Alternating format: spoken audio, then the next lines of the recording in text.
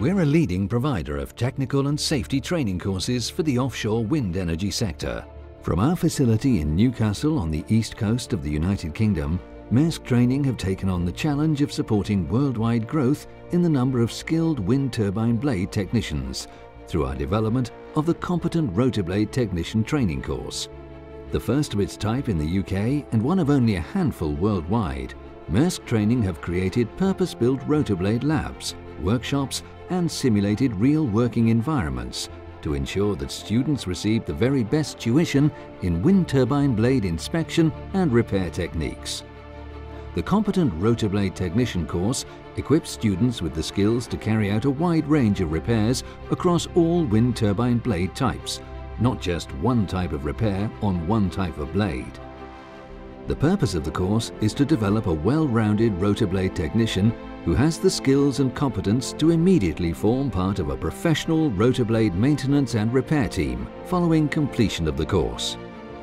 Using inputs from the DNVGL standard for wind turbine rotor blades, we start by teaching the fundamentals of composites, including the important health, safety and environmental aspects. We provide delegates with essential underpinning knowledge, teaching them about rotor blade design, structure and materials, the different laminate, resin and fibre types, as well as calculations and quality control for composites.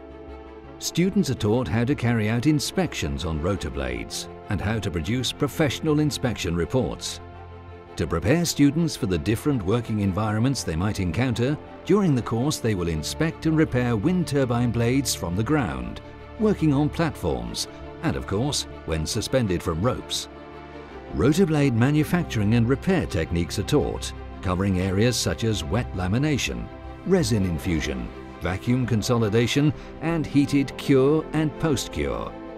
During the course, our students actually build their own leading and trailing edges. We believe that to be able to identify if a blade requires repairing, technicians must first know how they're made. Due to its flexibility and speed of deployment, Many rotor blade inspection and repair projects are carried out using industrial rope access techniques. The Competent Rotor Blade Technician course provides students with an appreciation of the difficulties which will be encountered when carrying out inspection and repair work using this technique, covering aspects such as preparation and planning, rotor blade specific access techniques, and carrying out repair and finishing tasks when suspended from ropes. Contact us now to book your place.